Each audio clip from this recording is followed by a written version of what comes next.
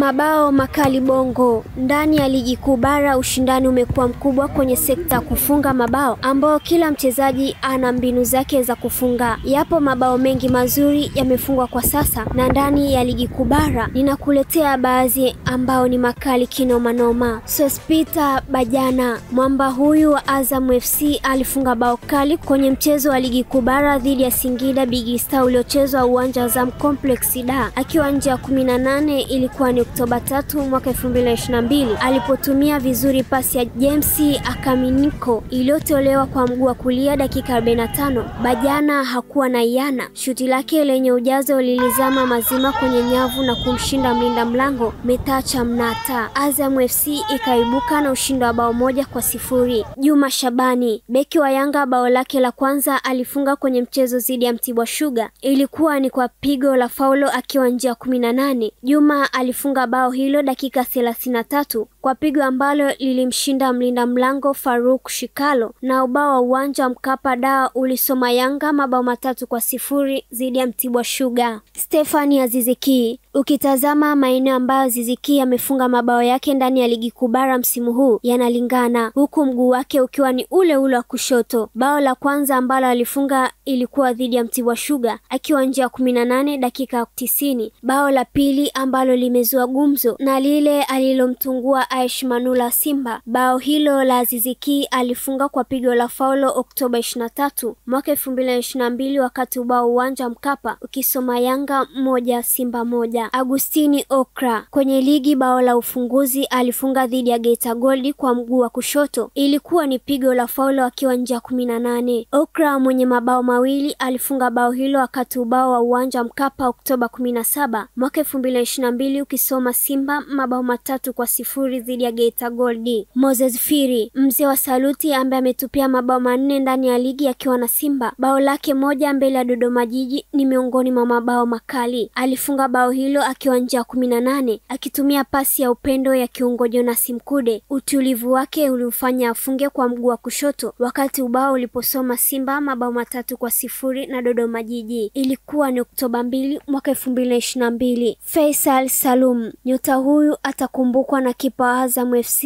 Al Ahmada kwa namna alivyompa mateso mara mbili kwa mashuti yake akiwa nje ya 18. Ilikuwa ni Septemba 6 mwaka 2022 wakati ubao ukisoma Yanga mbili Azamu mbili. Faisali aliachia makombora hayo dakika 57 baada ya kukutana na mpira uliokolewa na beki wa Azam FC, kisha dakika 77 kwa pasi ya Ali Diaucho Riliant Lusajo. Nyota huyu wa Namungo alimtungua Faruku Shikalo akiwa nje ya 18 kwa mguu wa kulia kwa pigo lililoonekana kutokuwa na hatari, lakini likaokotwa nyavuni. Ilikuwa ni uwanja Mkapa Agosti 15 mwaka 2022, ubao uliposoma Namungo mbili Mtibwa mbili.